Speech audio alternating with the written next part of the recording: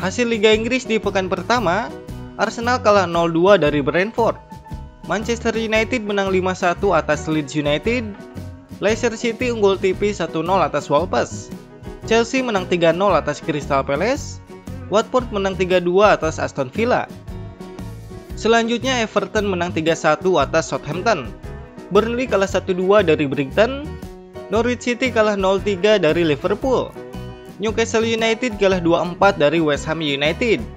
Kemudian Tottenham unggul tipis 1-0 atas Manchester City.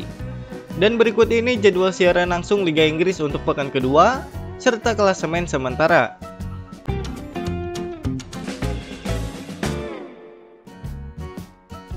Pekan kedua Liga Inggris akan dimulai hari Sabtu tanggal 21 Agustus. Dibuka dengan pertandingan Liverpool lawan Burnley akan ditayangkan Mola TV jam setengah 7 malam. Kemudian jam 9 malam, pertandingan Aston Villa lawan Newcastle United, Crystal Palace lawan Brentford, dan Leeds United lawan Everton ditayangkan Mola TV. Masih di hari Sabtu jam 9 malam, pertandingan Manchester City lawan Norwich City ditayangkan Mola TV.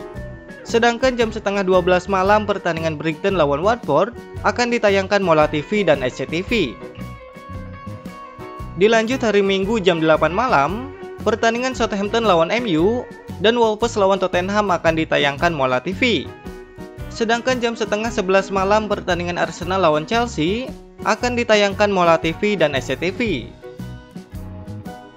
Kemudian hari Selasa jam 2 dini hari, pertandingan West Ham United lawan Leicester City akan ditayangkan Mola TV.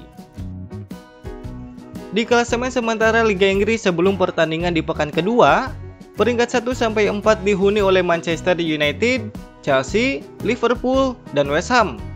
Sementara ini MU hanya unggul selisih gol dari beberapa tim di bawahnya.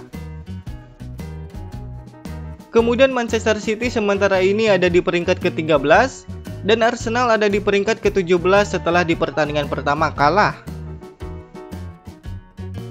Top skor sementara Liga Inggris dipimpin oleh Bruno Fernandes dengan koleksi 3 gol. Diikuti Mohamed Salah dan beberapa pemain lainnya dengan koleksi 1 gol.